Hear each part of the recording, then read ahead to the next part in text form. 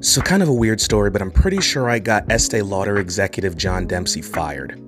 So, in my spare time, I like to make memes about the rapper Chingy. I'm the moderator of the r slash Chingy subreddit, and I've been doing this on social media for almost 10 years now.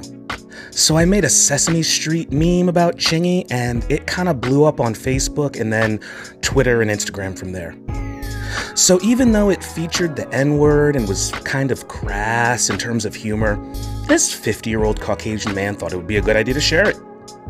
And as of this recording, he has been suspended without pay. I think it's hilarious.